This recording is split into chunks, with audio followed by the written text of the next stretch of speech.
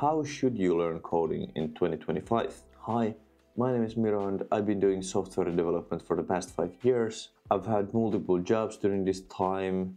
I've taught coding for other people. I've worked in small startups. I have found my own businesses and I have developed apps for multiple nine-figure businesses. Learning the code is always relevant. Methods and devices evolve, but the main idea of coding stays true. The world is more and more digitalized, and you definitely want to be a part of that journey rather than to stand in the sidelines. But where does one actually start the learning process? I started my journey with the help of internet until I landed in university where I started studying more structured. Starting in a university really fast track to my learning process. But applying and studying in a university might not be the right path for everybody. And there's actually multiple ways to start learning coding in 2025.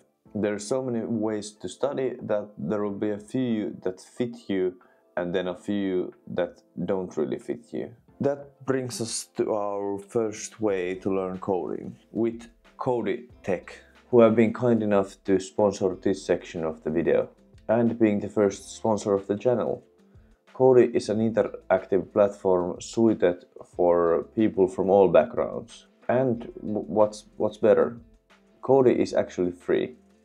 Yes, it, it actually is. You can study daily with Coddy's free plan and proceed in your coding journey. Coddy is definitely inspired by the feel of Duolingo, but it doesn't yet have the scary owl.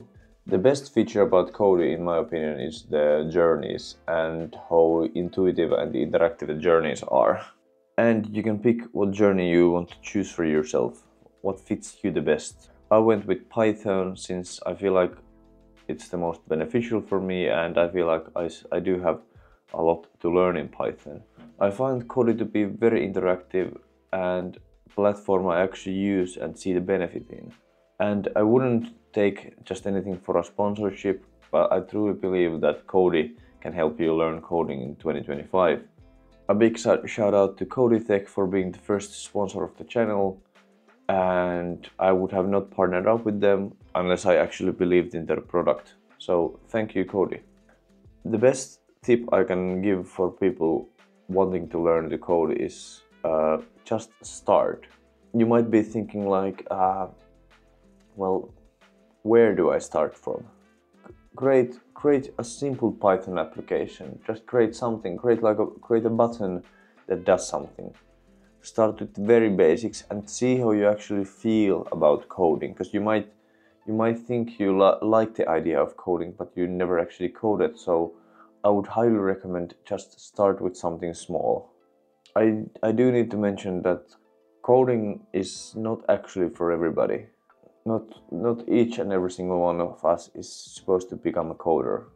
You need to keep educating yourself if you want to stay on top of your game. But coding, I believe coding to be somewhat of a future future-proof profession. I won't give my full opinion on AI and AI replacing coders in this video right now, but in short, AI is not replacing coders. AI is replacing the simple boilerplate code, so coders have a possibility to focus on more complex matters. That is why coders need to keep educating and need to keep, uh, stay on top of their game. I wouldn't stress that, that much right now about AI taking your job in the future. But now if you really want to learn coding, I would just start with something very small. So actually just start coding. Write your first few lines of code and see how you feel about it. Creating an account on Coddy Tech is a very easy way to get started. The gap from wanting to learn to actually learning is very tiny in 2025 and there's so many easy opportunities for you to start learning. You just have to take the first step and see if this actually is for you. Because you need to remember that code, coding might not be for you, and that's completely okay. you you'll find what is for you. But there is ups and downs in coding all the time. I hope you have enjoyed this video of my my ideas on how to how to start learning coding in 2025 and be sure to subscribe and actually comment down uh, below what do you think what do you think of these ideas? What do you think of the method of actually just starting? I will answer all the comments and thank you for watching and i hope to see you in another video. Thank you and take care